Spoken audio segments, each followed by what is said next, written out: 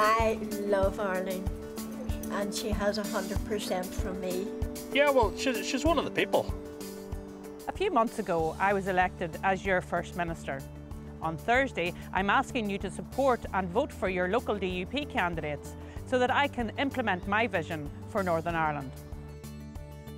People ask me, if we vote for your party, what are you going to do for us? I have a five-point plan for a stronger, safer Northern Ireland, but I need your support to implement it. I've a plan to employ more nurses and doctors, create more and better jobs, and ensure that all schools are treated fairly with no favoured sectors. But I can only deliver it with your support. I've travelled to every part of Northern Ireland.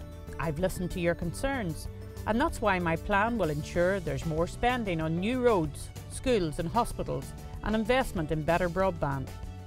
I know family budgets are tight in Northern Ireland. That's why I've pledged that as your First Minister, I will keep household taxes low. Bye bye, see you. Bye bye, darling.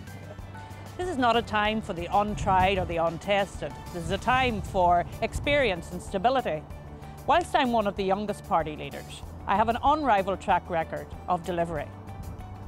I helped convince investors from all over the world to bring jobs to Northern Ireland.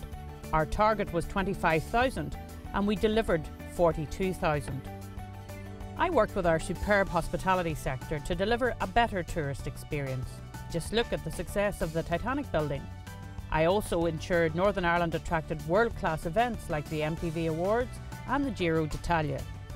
On Thursday you have a choice. You can vote for people with no plan and no record of delivery, or you can vote for my candidates and give me the mandate to lead Northern Ireland in the right direction.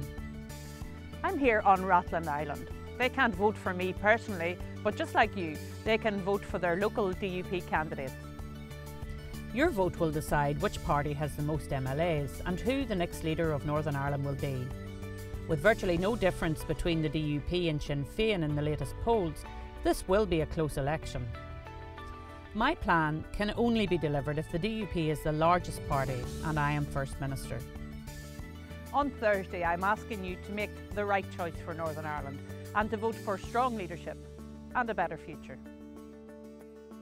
On the 5th of May, vote DUP.